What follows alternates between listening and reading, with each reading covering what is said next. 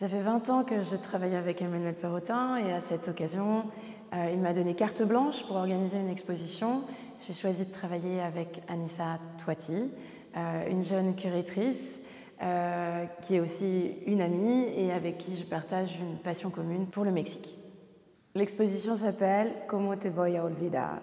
Como te voy a olvidar reprend le titre d'une chanson populaire au Mexique.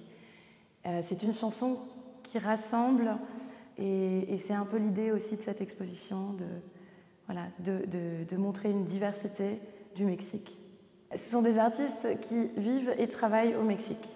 Mais il n'y a pas que des artistes mexicains, puisque le Mexique aujourd'hui est aussi une terre d'accueil. On souhaitait que chaque artiste puisse réfléchir en termes d'espace, et on a tenté de leur donner une salle chacun. On découvre des techniques euh, traditionnelles de tissage, de couleurs. Et ça apporte quelque chose de très précieux. Des pièces très, finalement, très architecturées qui jouent beaucoup avec l'espace. On a peut-être l'impression de tout moins dans la tradition. Euh, néanmoins, ils utilisent des techniques très traditionnelles et très artisanales. Donc il y a toujours cette, euh, cette discussion. Les artistes entre eux sont très solidaires. Une, on rentre vraiment dans une, une idée de, communauté. Chacun garde son identité au sein de ce groupe. Euh, ça, c'est vraiment quelque chose d'extrêmement important. J'espère que c'est ce qu'on ressent quand on voit l'exposition et j'espère que c'est ce qui donne aussi envie euh, de découvrir un petit peu plus le Mexique.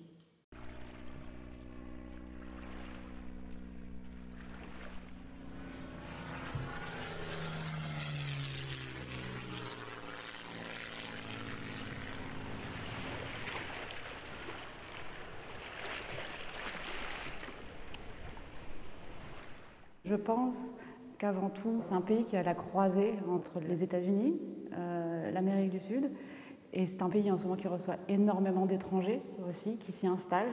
C'est un pays qui est vibrant, très enthousiasmant. On a l'impression que tout est possible et une, énorme liberté. Ce qu'on a voulu montrer, c'est avant tout la jeune scène mexicaine, c'est-à-dire des artistes qui ont entre 25 et 40 ans, et mélanger des artistes qui sont soit d'origine mexicaine, soit des artistes installés au Mexique. Le parti pris, c'est de faire en sorte que euh, les visiteurs aient une expérience différente à chaque salle, comme si on rentrait à chaque fois dans un nouvel univers.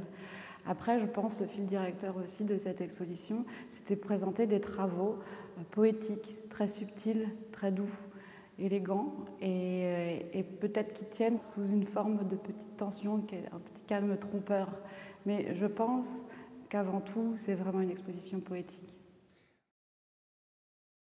I am from Guadalajara, Mexico, and my work is a reflection upon the force of gravity as being the most important like force in this uh, planet.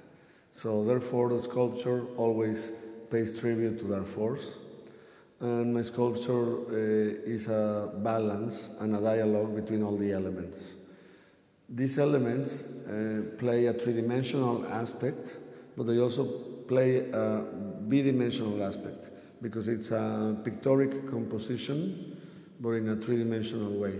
That happens also with the marble that you see, and marble is the most important uh, material in the history of sculpture, but in this case, it's just uh, in its raw state with a, with a perfect line that is uh, the white uh, uh, strap, in opposition to the organic forms of the marble.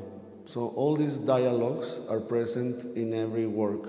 Also, when you see the brush strokes of the Lichtenstein painting, they reference to the first gesture of painting, but they also have a very sculptoric side of it. Because when they are cut out, then the paper behaves in a certain way that is more sculptural and three dimensional than, than a painting. I was born in Uruguay and then I moved to Mexico, so I, I live there and I work there. And well, I, I think Mexico is a great place with an interesting artistic scene.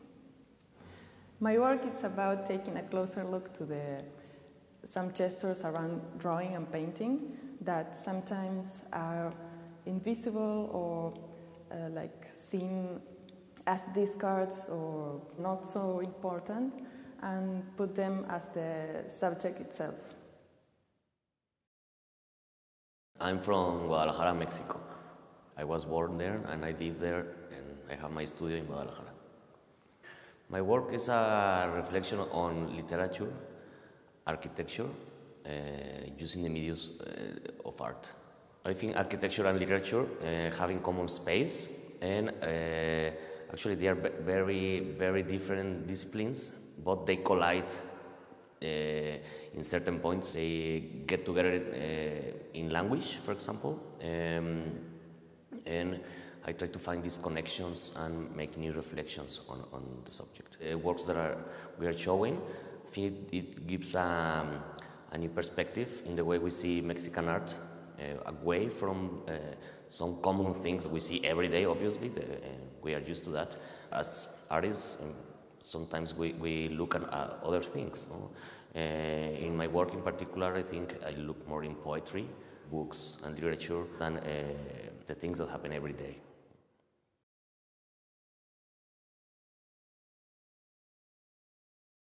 I'm originally from San Luis Potosí, which is the northeast of Mexico, but I live in Mexico City. The work in the exhibition is part of two ongoing series, one called The New Psychology, which addresses uh, notions of perspective and perception as a way to construct subjectivity, and the other is called uh, simply Poems, and that's a larger uh, series that uh, doesn't really have a format or a medium. In this case, the medium has been translated into glass, paintings on glass, and a series of jackets that I did. I'm from Guadalajara, Mexico. The works I'm presenting here, it's a series of films called The Distance Between You and Me. And the, the films, it's about the distance that I try, the space between the viewer and the artist. And uh, I want to literalize this idea by running away toward the horizon. And in a way, also, it's a, a work about the scale, how you become a dot in the landscape, give your back to the public, but at the same time, you are trying to take the, the, the public further away into the horizon, into the landscape. I mix the techniques. Now I do more sculpture. Uh, I love to mix the materials. It's kind of the heritage of the, my career. The work I present here is two sculptures, especially created for this show. One is called um, the reduction to absurd. It's a square root uh, with a rock in the middle. The reduction to absurd is a trick the mathematicians use when the equation don't have a clear result. And the other one is, the, uh, is part of a series called the El Horóscopo de Jesús. And the title refers to the possibility to make mundane the divine.